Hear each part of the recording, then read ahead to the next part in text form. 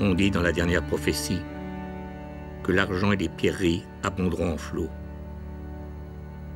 jusqu'aux genoux et jusqu'aux reins. Si quelqu'un a de mauvaises pensées, il sera trempé dans cet or. Ce sera un présage funeste. Toi qui regardes, ne lutte pas. Ne retourne pas tout de suite au mouvement, à la vie, à la douceur qui t'attend. Non. Reste avec l'homme.